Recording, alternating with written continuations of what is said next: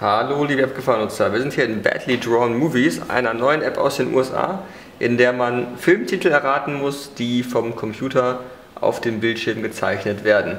Das Ganze ist nicht so einfach, denn äh, es sind englische Filmtitel, aber äh, zusammen mit den Hints und ein bisschen Filmwissen ist die ganze Geschichte auf jeden Fall machbar. Wir haben uns hier äh, das erste Kapitel schon mal ein bisschen angespielt. Insgesamt gibt es da deren zwölf. Und äh, wir öffnen einfach mal hier die ganze Geschichte. Das haben wir jetzt noch nicht äh, uns angeguckt. Ich komme auch ehrlich gesagt nicht drauf, was das für ein Film ist. Forrest Gump vielleicht? Forrest Gump? Doch, doch, das könnte sein. Der sitzt ja, immer auf so einer Bank Ja. und Forrest Gump. Geben wir es mal ein. fehlt U. Oh, aber er hat es trotzdem richtig erkannt. Das finde ich also fair, wenn man einen kleinen Tippfehler drin hat, ähm, wird es richtig erkannt. Aber wenn irgendwie The oder irgendwas vor davor fehlt, ähm, dann macht das nichts aus. Ich finde es ein bisschen schade, dass ich jetzt nicht die alten Filme. Ach doch, da können wir mal gucken, was wir alles schon erraten haben. Also viele Sachen äh, kennt man.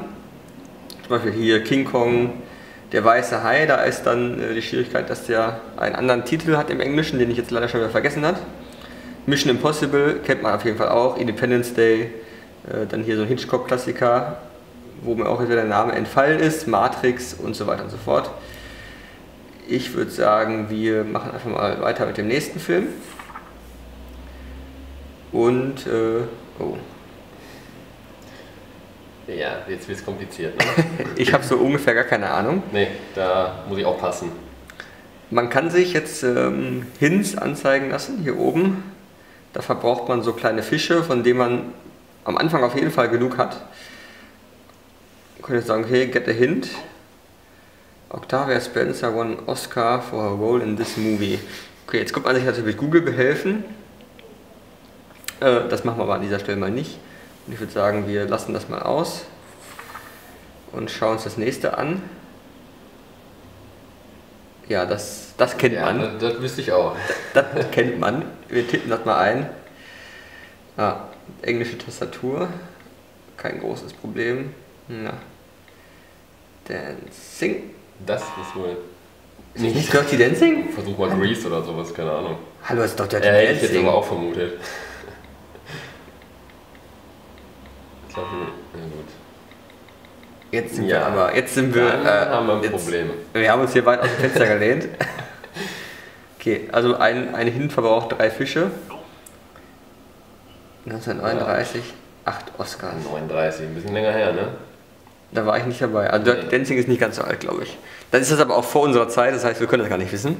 Die Lösung anzeigen lassen kann man nicht, oder? Die kann man auch, äh, das geht Wahrscheinlich dann jetzt. Hm. Kostet aber auch oh, zwölf, zwölf Fische. Aber machen wir einfach mal, weil man lernt ja nie aus. Und das ist Gone with the Wind. Ach so, vom Winde verweht. Ja, ja, auf Deutsch heißt es wahrscheinlich anders. vom Winde verweht. Aber jetzt, ich wäre nicht drauf gekommen. Nee. Äh, aber wie gesagt, vor der Zeit. Aber Wind erwartet oder Wolken. echte Filmfans hätten das auf jeden Fall geschafft. Was wird denn da jetzt so gut? Was machen die denn da? Ja, das ist die äh, nächste Frage. Sitzt der da auf so einem, ich, ah, ich glaube, Lügendetektor-Test irgendwas. Oder so. Oder Aber, Äh, welcher Film das sein soll, Am Anfang war es einfacher. Also Mission Impossible habe ich sofort erkannt. ja, weiß da auch. Okay, wir machen mal weiter. Vielleicht kommt ja noch was. Was wir auch wissen. Ja, hier, Hannibal Lecter, ne? Aber welcher Teil oder so, würde ich jetzt mal einfach vermuten. Soll ich mal Hannibal einfach eingeben? Hannibal Lecter, ja. Ja, sieht sehr danach aus. Oder mit O oder so. Weiß nicht, wer geschrieben wird. Hm, auch nicht. Aber der hat doch mal so Oder Saw oder irgendwie sowas? Hat der nicht Maske auch so? auch. Hat bei Saw haben die auch so ein. Nein. Wenn ihr wisst, wie dieser Film heißt, schreibt in die Kommentare, dann können wir ein bisschen weiterspielen. Äh, wie gesagt, für Filmfans, die sich auch ein bisschen vielleicht mit englischen Filmtiteln auskennen oder sich nicht davor scheuen, mal so ein bisschen mit Google ein bisschen nachzuhelfen, äh, haben die auf jeden Fall sehr, sehr viel Rätselspaß. Die App ist wirklich super aufgemacht, auf dem iPhone oder auf dem iPad. Kostet nur 89 Cent. Und wie gesagt, für Filmfans auf jeden Fall ein Blick wert. Für die Leute, die ähm, nicht so viele Filme gucken und auch die englischen Titel vielleicht nicht kennen, eher nicht, aber sonst auf jeden Fall eine Empfehlung.